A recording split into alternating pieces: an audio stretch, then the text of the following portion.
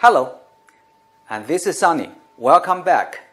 Today I will introduce four concepts related to electromagnetic waves wavelength, amplitude, frequency, and hertz. If you see the ocean, you know waves. Electromagnetic waves, or EM waves in short, travel through space just like ocean waves.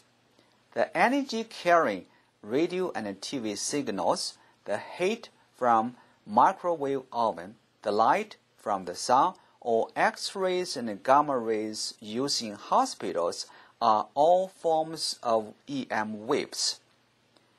Their forms might be different, but they share one common property. They travel at the speed of light in an empty space. Let's look at several terms of wave first. A wave has a highest point called crest and a lowest point called trough. The vertical distance between crest and the wave's central axis is amplitude.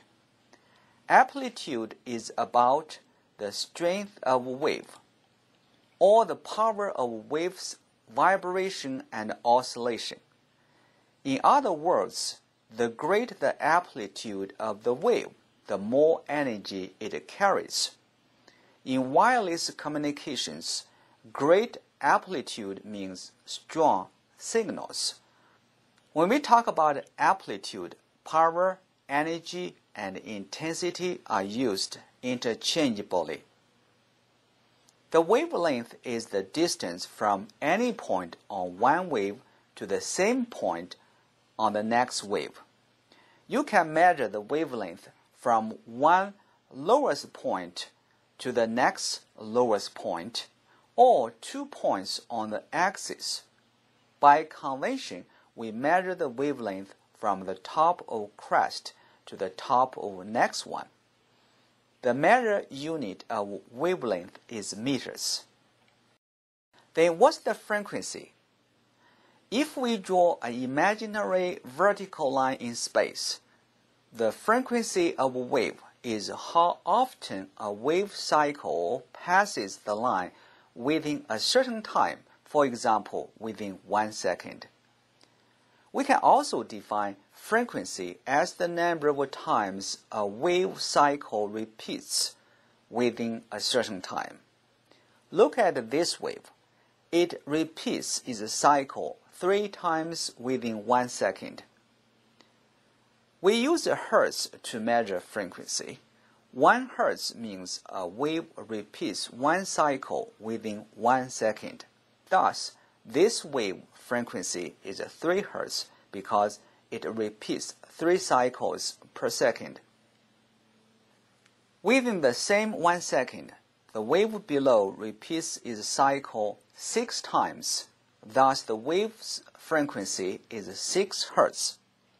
We can see the wave below has a higher frequency than the wave above. Then what's the relationship between frequency and wavelength? Let's look at this example. We can see the wave with a longer wavelength has a lower frequency and a shorter wavelength means higher frequency. Amplitude has nothing to do with the frequency.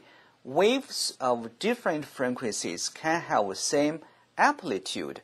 On the other hand, waves of the same frequency can have different amplitudes.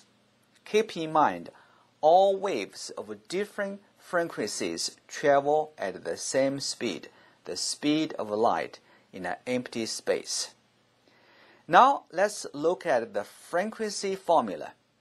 F equal C divided by lambda, where F stands for frequency, C is speed of wave, which is the speed of light, and lambda stands for wavelength.